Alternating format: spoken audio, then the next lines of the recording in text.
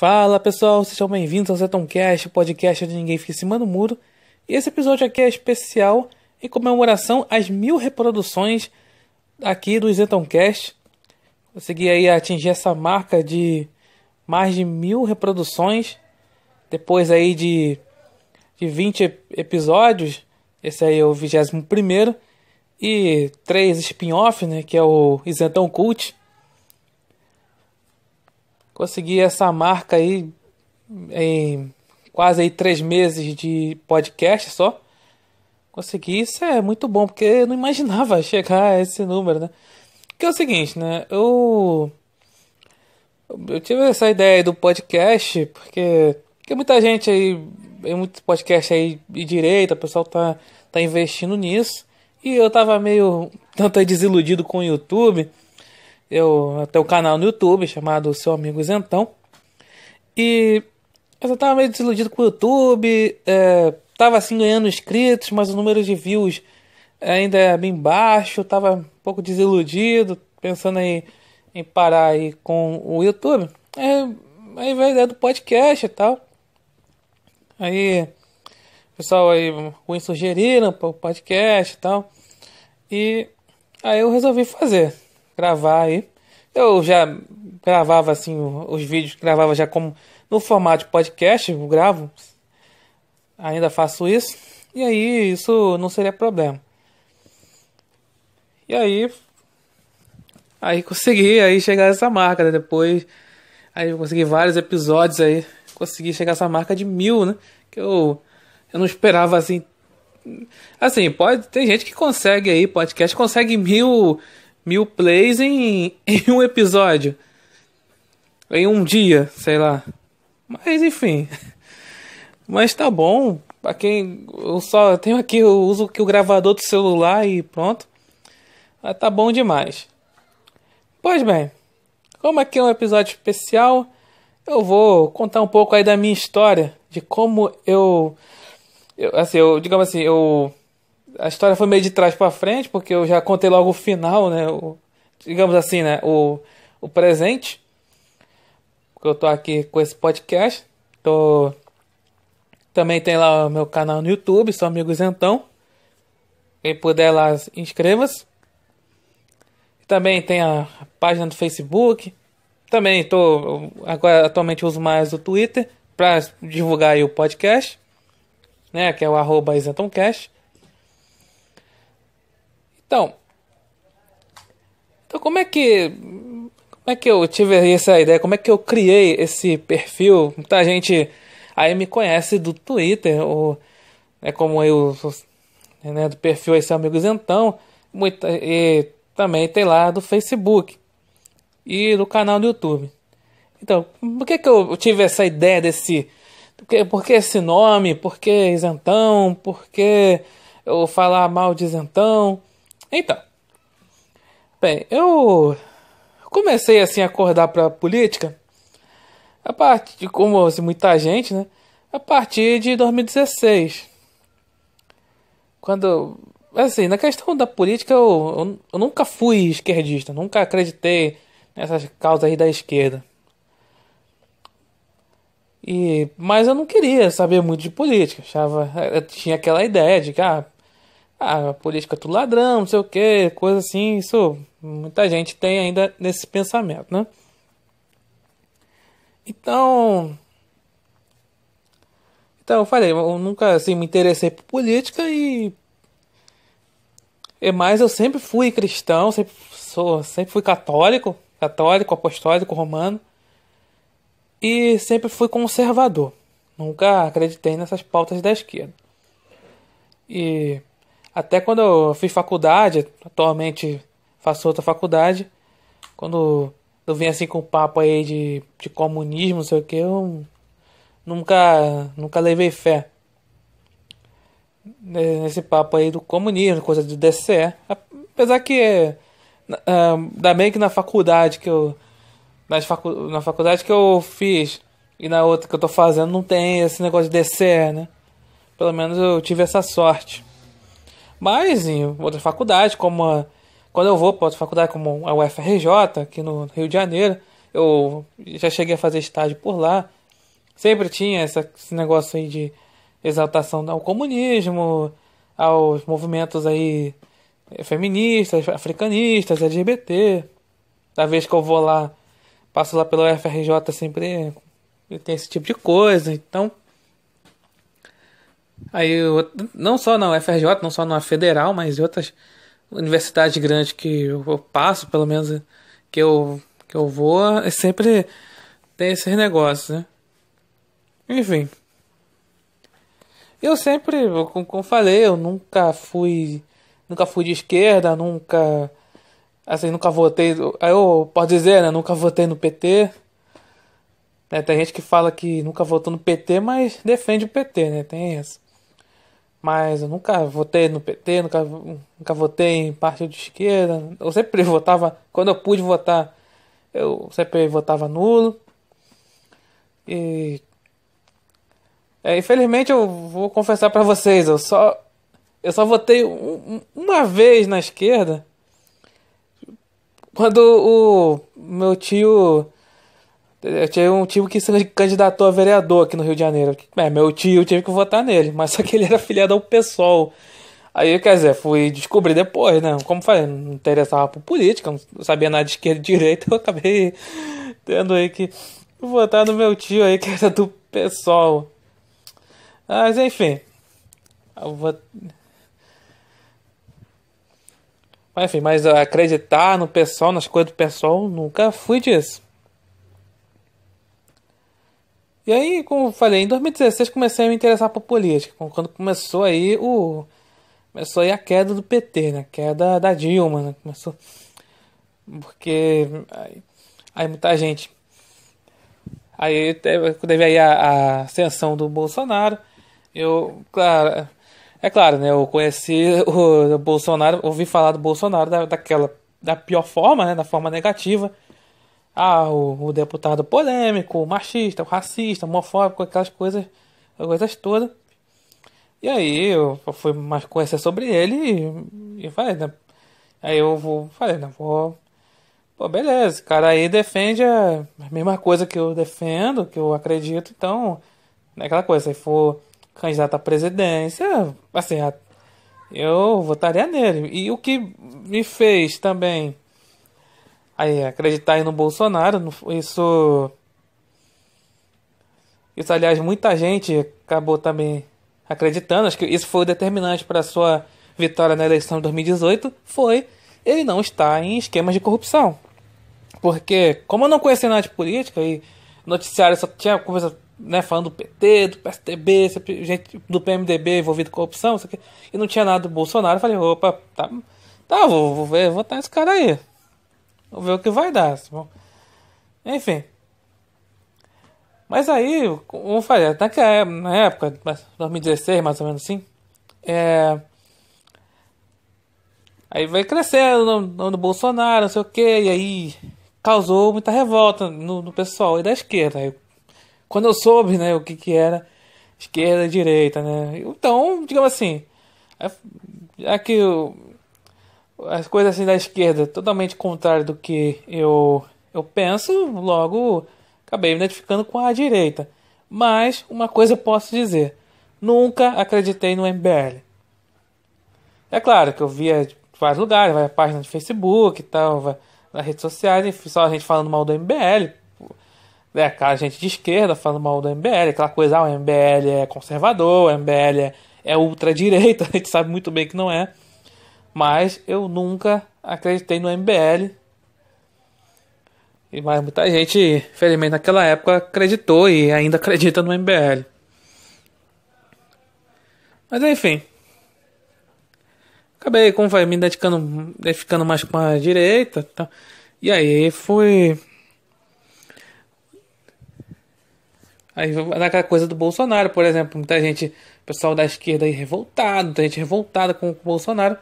E aí, por conta disso, acabei tendo aí conhecimento de um tipinho de pessoa que se dizia que não era nem de esquerda, que não era de direita, mas que passava pano para os erros do PT, para os crimes do PT, para os crimes da esquerda, e odiava Bolsonaro com todas as suas forças, os chamados isentões, que eu ouvi falar no termo, né, isentão.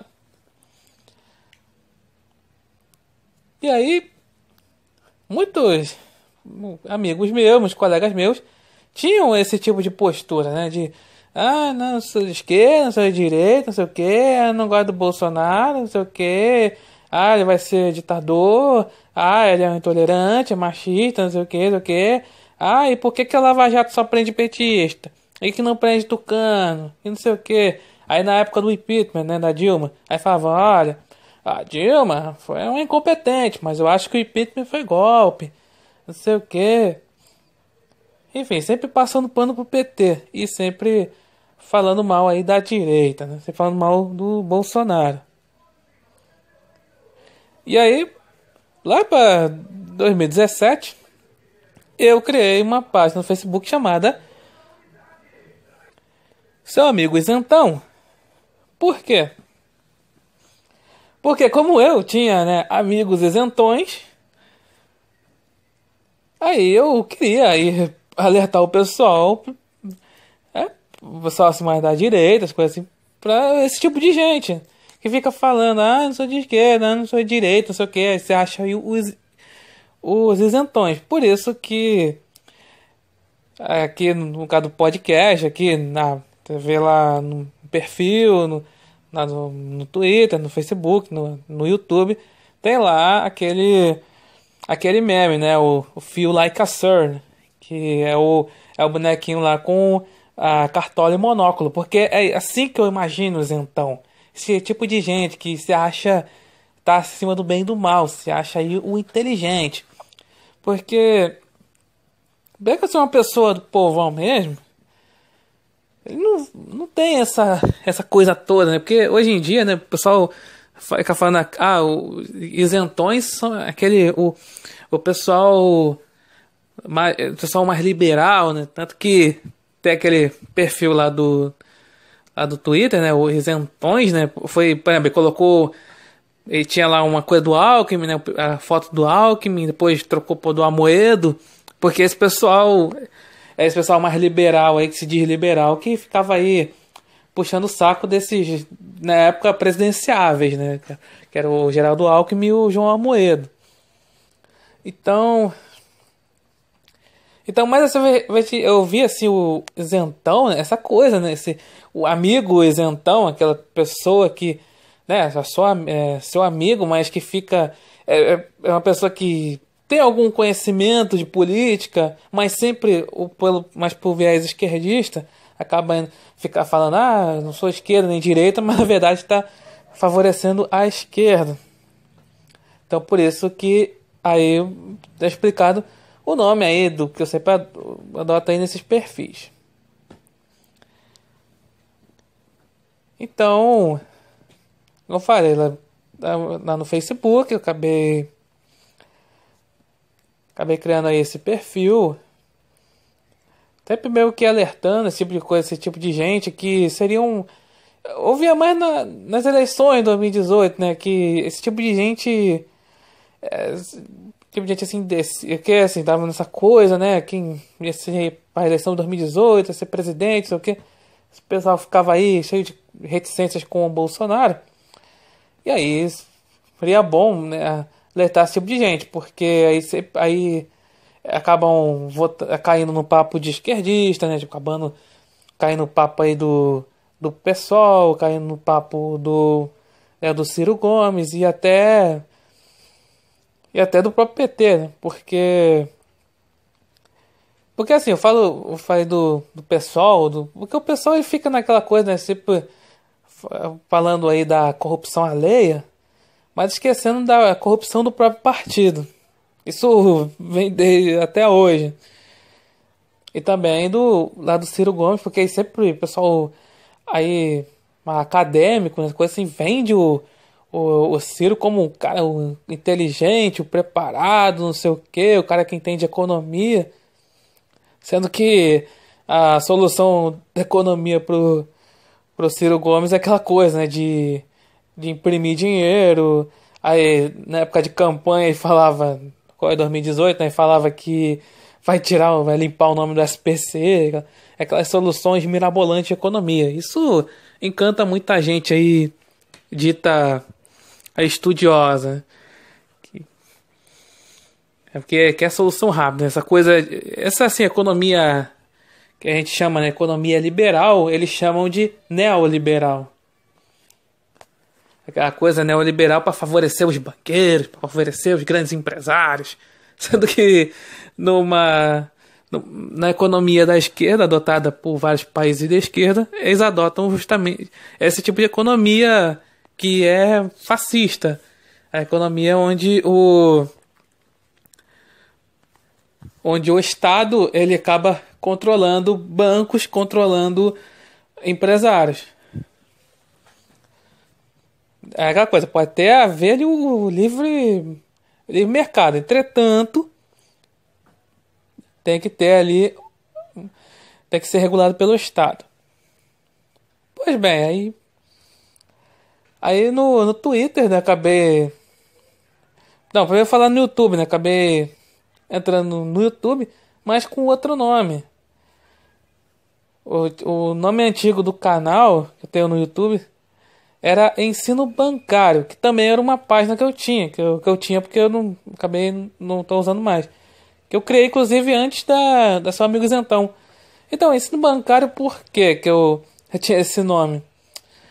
Porque era assim, era mais voltado para a questão da educação, porque o porque atualmente eu faço licenciatura, licenciatura em biologia. E como eu acabei estudando, tive que estudar Paulo Freire, aquelas coisas, o sócio-construtivismo e tudo mais. E o Paulo Freire tinha essa teoria né, da educação bancária, ou do ensino bancário, tanto faz, onde é assim, o pessoal tinha.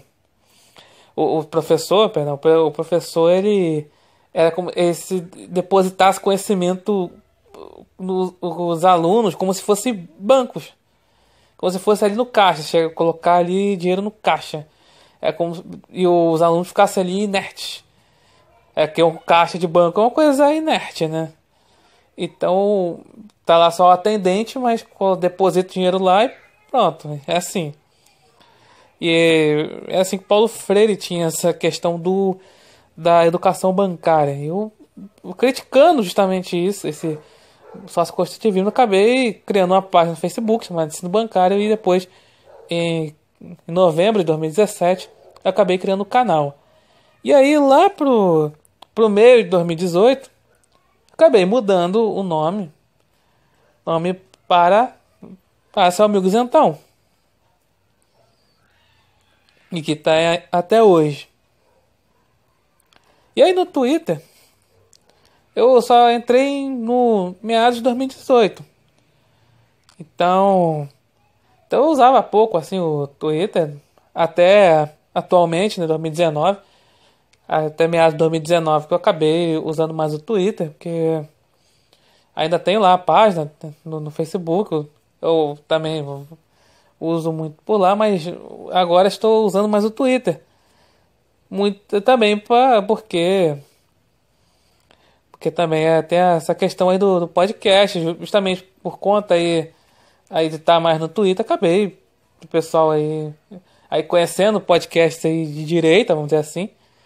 E também acabei tendo a ideia de criar meu próprio podcast. Como eu falei lá no começo, eu tava meio aí desiludido com o YouTube, então realmente Tava até ganhando inscrito, mas só que o número de views ainda não tava assim crescendo, então eu achava ali que o meu todo ali meu trabalho estava sendo ali no YouTube estava sendo em vão. Aí eu fiquei bem desiludido com o YouTube.